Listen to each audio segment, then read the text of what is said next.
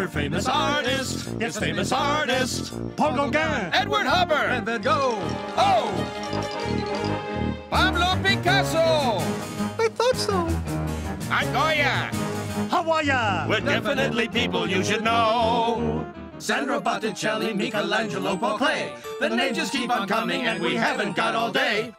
We're famous artists. Renoir! Famous artists. Au revoir! Monet, Da Vinci, Peter Bruegel. Don't pinch me! Some people think we're geniuses.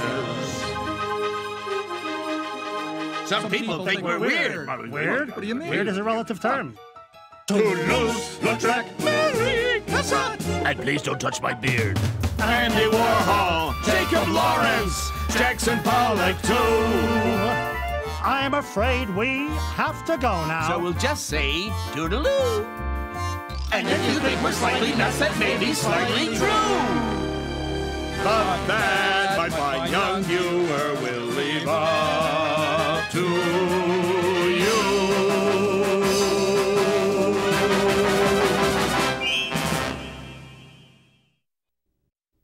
Hello!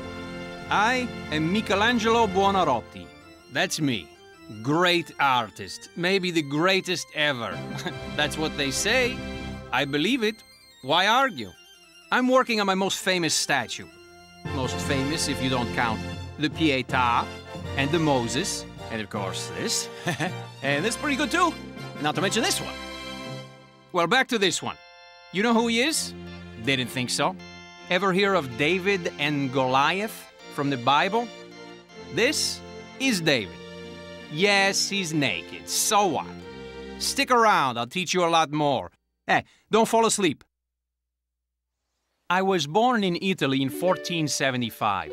We lived just outside of the town of Florence.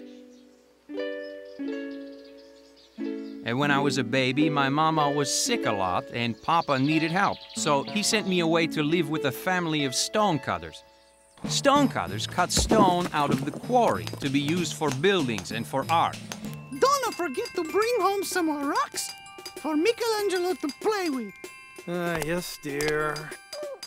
When I grew up, I joked that this was the reason I loved to carve stone so much. That kind of carving is called sculpting, and that kind of art is called sculpture.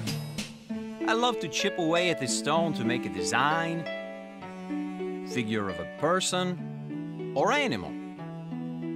I sculpted many of my statues from big blocks of marble. I chipped away at the marble with a hammer and chisel until I got it the way I liked. This unfinished statue of St. Matthew shows how I started one of my statues. I left a lot of my work unfinished. So what? It was finished enough for me, huh? I made my statues very lifelike. Sometimes I would polish them so they looked smooth and shiny.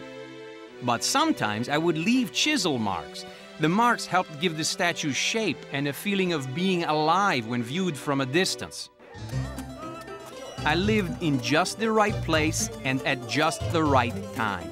In the 1400s and 1500s, people in Florence were very interested in architecture, painting, poetry, and sculpture. I learned a lot about art walking through Florence. I loved the fresco paintings of Giotto and Masaccio that I saw on the walls of churches in Florence. And I especially admire the sculptures of Donatello, the greatest sculptor in Florence. Well, before I came along. He makes the stone come alive. I'm sorry, not much detail, but still so beautiful. These artists lived and worked in Florence before I was born. When it was time to go to school at the age of 10, I have to admit I wasn't a very good student. I spent most of my time sketching and drawing pictures of the wonderful art I saw on my way to school.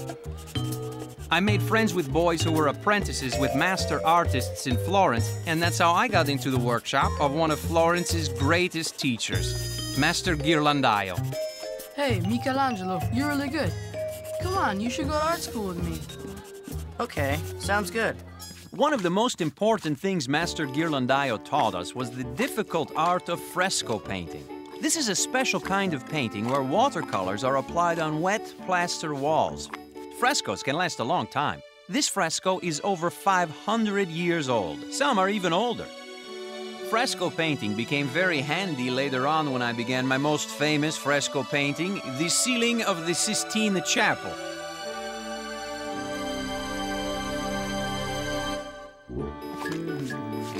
When painting a fresco, you got to work fast before the plaster dries. Oops! eh, no time to fool around.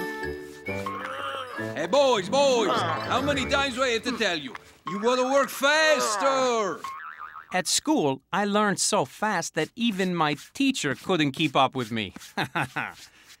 I did this sketch when I was an art student. Look how I used the cross hatching to create the shading effect in a drawing. Even Master Ghirlandaio was amazed. Michelangelo, this is wonderful. What made you think of that? How do you know how to do that? Hmm, let's see. Um, could it be. Could it be I'm a genius? I learned a lot from Master Ghirlandaio, but I also learned a lot on my own about being an artist. In fact, I was so involved studying art, sometimes I would miss art classes. Michelangelo, don't you feel guilty about skipping Master Ghirlandaio's class again? No, just tell him if he needs any advice. I'll be right here. you don't think I was great? Huh? When I was 16, guess what happened? The numero uno Kahuna Grande of Florence, Lorenzo de' Medici, invited me, me, to study at his palace where he had a school just for sculpture. This is a picture of him with some of his favorite art students. That's me, all the way over on the right. He was what they call a patron of the arts. Lorenzo loved art of all kinds and paid artists to create works of art for him. People who paid artists in this way were known as patrons. The Medici family had big money. Big. And they loved art. He gave the students materials, paint, marble, instruction. He gave us time to study, work, learn. I loved work, hard work, lots of it too. He wanted us to learn all kinds of things. He encouraged us to write poetry too. It was fabuloso. Ahem. Listen to this, everybody. My new poem. Ah, Ahem. As I was saying, in praise to Lorenzio, I offer a rose to sniff with his nose. I thank you. ah, ah. You want to hear something good? Listen to this. Poem by Michelangelo Buonarroti. For from the stars above descends a glorious light that lifts our longing to their highest height and bears the name of love. Yeah, I was really great. The other students, eh, they were so-so. Oh, here, here comes the worst one, Torrigiano. I had a good time making fun of him un- until one day. Hey, everybody! Look what I made. I call it Sunset with Dog and Macaroni. You call that art? I wouldn't use that as a doorstop. What? I wouldn't even dry my socks on that thing. Why, you're making me mad. Huh? Huh? Is that your pet dog or your mama? Mama? Aw, that does it. I'm gonna flatten your nose like a biscuit.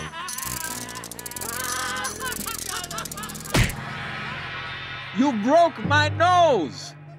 Okay, so I wasn't the easiest person to get along with. Here's a sculpture of me. I didn't look very happy.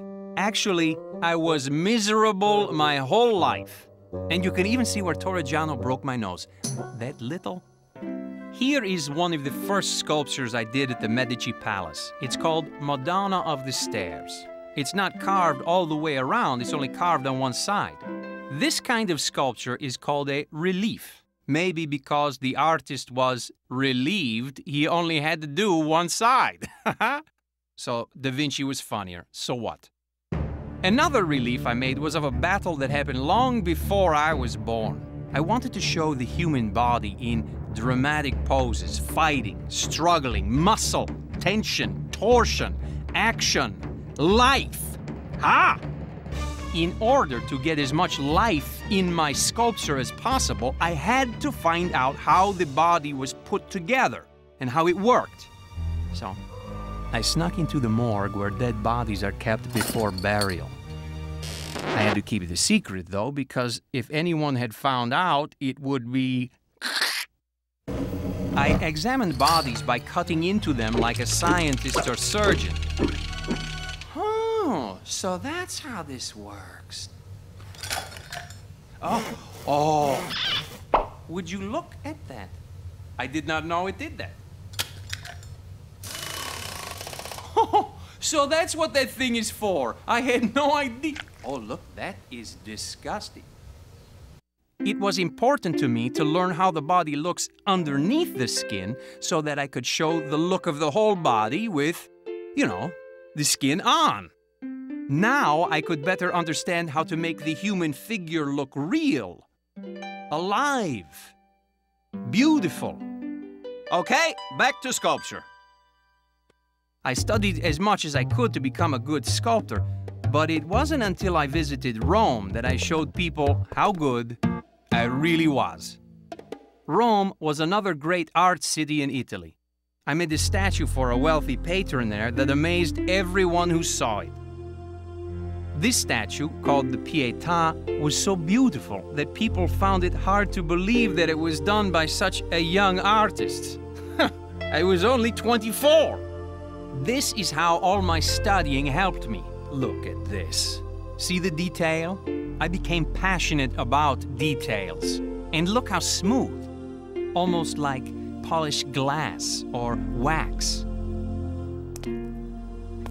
It's beautiful. I can't believe it. I made something so, so beautiful, and I was only 24 when I finished it. Okay, enough. Back to Florence, my hometown. The big bosses in Florence heard about my great work in Rome, asked me to do a statue for them, even gave me a huge block of marble to work with. Michelangelo, we heard about your great work in Rome. We want you to do a statue for Florence, your hometown. Here is a huge block of marble. It's all yours, Michelangelo. Think of it as a present. Hey, Hey, thanks everyone. What a great block of marble, really. I can tell David is in there somewhere. Hello? Hello, David? I know you're in there. Let's help get him out. Come on, come out. Come out, come out, wherever you are. I'm going to come in and get you. In this statue, I wanted a lot of fine detail. Look at that foot, huh? The hand, even the hair. Look at David's face. I pictured him just before he was going to battle with Goliath the giant. He looks a little worried, right? But he's gonna do it anyway. That's the idea. David was kind of like the people of Florence strong, brave, clever, and ready to defend their city. That's why the people of Florence loved it so much. And they loved me too. We like Mike. Okay, back to Rome, 1506. During the time I was working on David, the powerful ruler of the church in Rome heard about me. Pope Julius II wanted to build beautiful churches and statues in Rome so that the people would remember him. He asked me to come there to work for him. Uh, Michelangelo, I have all kind of plans for you. I want to build a tomb so people will remember me. A real fancy. Oh, hmm. With, like, maybe statues on it? Yeah, maybe I'll have you do three or four. How about five or six? Well, how about a 10 or 20? Wow! How about 30 or 40? Fine, 40. You can't turn down a pope. especially Pope Julius. Not only was he head of the Catholic Church in Rome, Italy, but he was an important military general. His armies protected the church's territories. But most important, Pope Julius wanted to make Rome the most beautiful city in the world. I was so excited, I got started on the plans right away.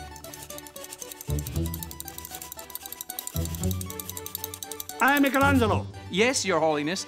I'm working on the plans for your tomb, Your Holiness. I have a better idea.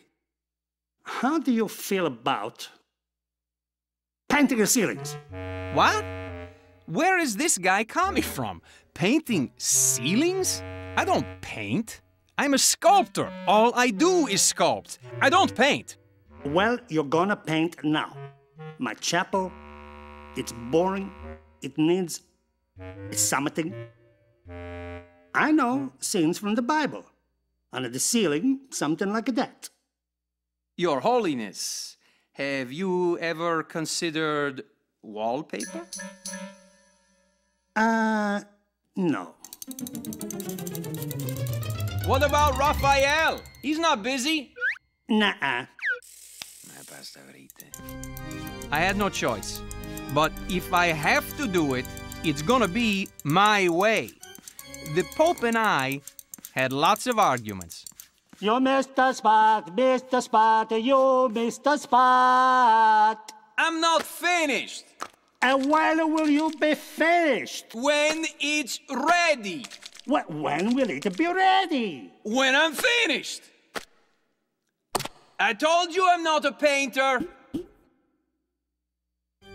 It took Michelangelo four years to complete the ceiling of the Sistine Chapel. He painted many scenes from the Bible.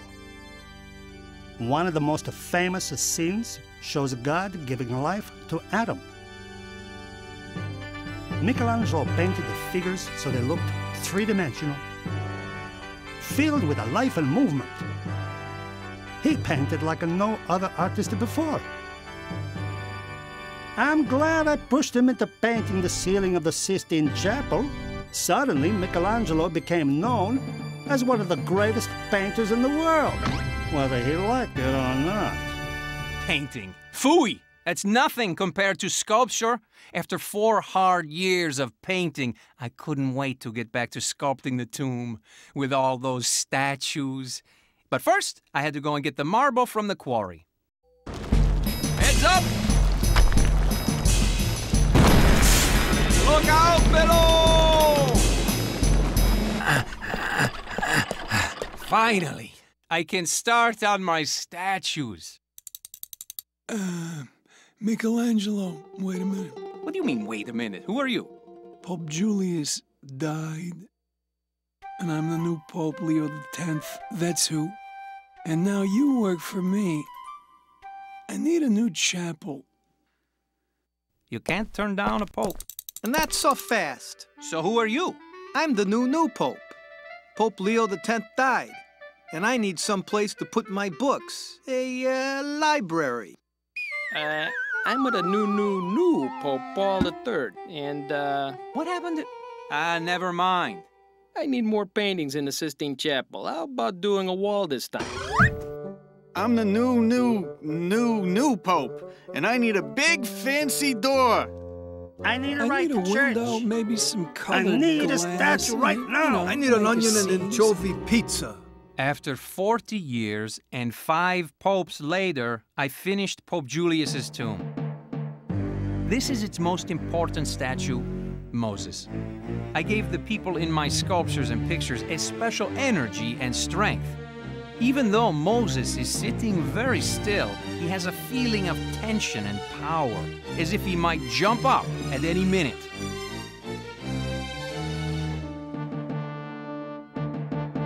Throughout my life, I created many beautiful and important paintings and statues. I was also fascinated by architecture, building buildings. I designed a chapel for the Medici family. You remember Lorenzo de' Medici, my patron? And this library? And this doorway to the city of Rome called Porta Pia? and this piazza in Rome called the Campidoglio. And I designed the front wall of a church in Florence, but like a lot of my work, never finished, but still beautiful. Pope Paul III had me do another gigantic painting on the wall in the Sistine Chapel called The Last Judgment. One of my best, eh? It shows the end of the world. How could I miss? But not everyone agreed. Do you see what I see? Hey, nobody's got no clothes on. Yeah. Wasn't anybody keeping an eye on the artist? Oh, this, uh, I don't know about this. This, is outrageous. Ah, that's what I I can't think bring too. my family to this. Me You have to neither. do something Is that about what I that. think? No. And there's another This is one over terrible. there. Nobody's got no For clothes. crying out Forget loud. about it. Forget about It's it. a Supposed to be a church. show. Years later, some touchy people came along and painted pants on everybody. But I didn't care because my next big project turned out to be the most important of my life, even though I didn't want to do it at first. The same Pope I just worked for wanted me to design the dome on St. Peter's Cathedral near the Sistine Chapel. I was already 71 years old, and boy, was I tired. But the Pope insisted and changed my mind. Michelangelo, Yes, Your Holiness. do it. Yes, Your Holiness. You can't turn down a pope. I worked on the dome for the next 18 years up until the age of 89. Well, I guess it was worth it because St. Peter's became one of the most famous and recognized cathedrals in the whole world. I was working on this sculpture called the Rondanini Pietà up until a few days before I died. Some people think it is my most beautiful sculpture, even though it isn't finished. You can finish it in your imagination. You know why I worked right up until a few days before I died? Because I loved art. I loved hard work. I loved sculpture. I loved architecture. Well, my young friends, it was good to get to know you. Art is a wonderful thing to study and to do. It's it's beautiful. It's so beautiful. So maybe you like to try. You never know. You might like it. Eh, ciao.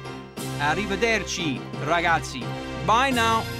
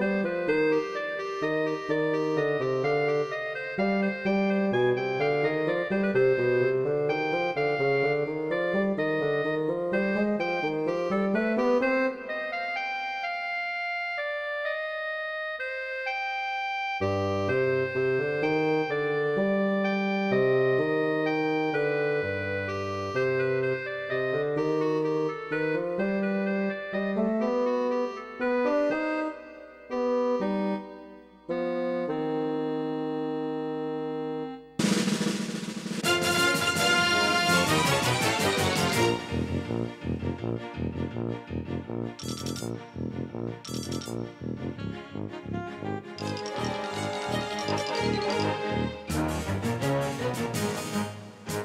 you.